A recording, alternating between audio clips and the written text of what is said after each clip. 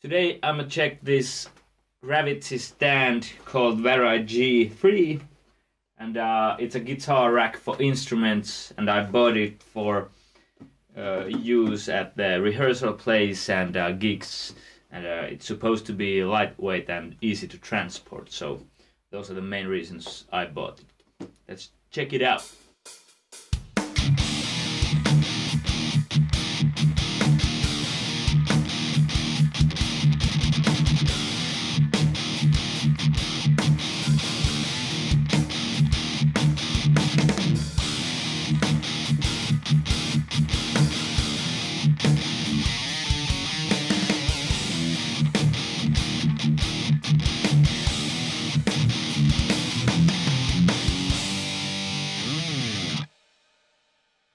Alright, there it is. Took me around 11 minutes to assemble it from the scratch, from opening the box this point. And uh, so, let's try. I have not seen this in action. This should be there. This should go there nicely. And it does. Really good. But this is what I'm a little bit worried. The star shape.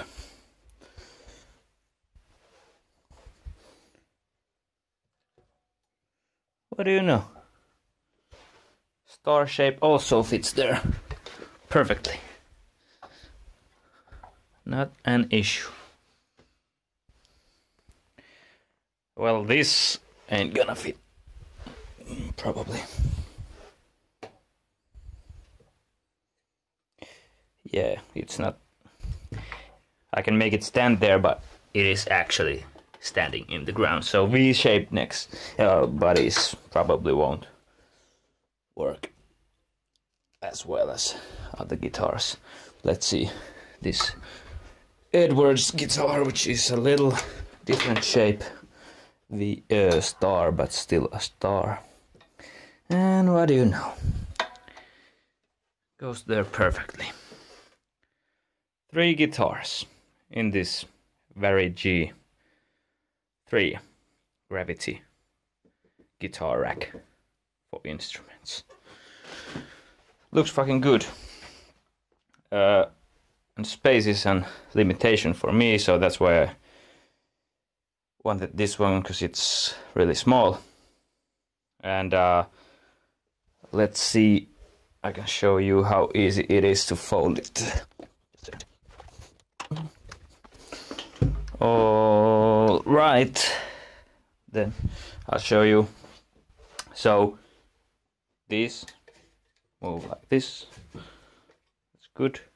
Then here, no locking, just pull it up. And uh, fucking hell. It's not that easy with one hand, but there you go. Then this is something it's not gonna automatically go to the next uh, the right position here on the on these studs. You need to do a little bit of manual directing but after you set it up it feels quite sturdy sturdy enough for me at least. And uh, then I can put it here next to a wall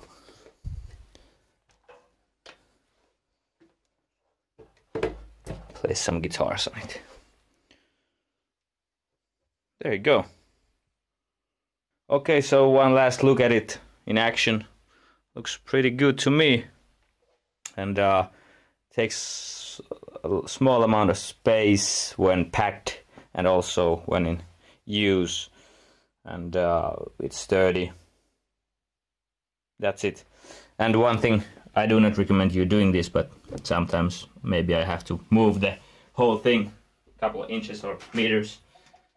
And it is sturdy enough for me to move it around. Even with the guitars. But please don't do it.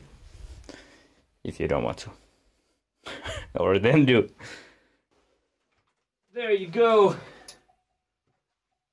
It was uh, small gear related video this time I gotta say, seems to be exactly what I thought it would be, and uh, looking forward to see how it works while touring.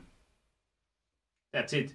Gravity's very G or very G, how do you say that? I don't know, man, but seems to be a good product.